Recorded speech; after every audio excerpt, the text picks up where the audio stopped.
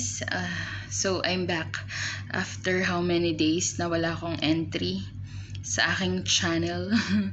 Medyo may mga struggles lang tayo. And I know everyone's struggling uh, emotionally, financially, especially.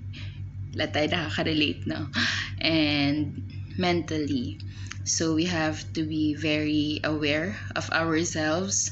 Let's not lose touch with our loved ones and let's continue to communicate with them. Especially uh, yung mga katulad ko na OFW.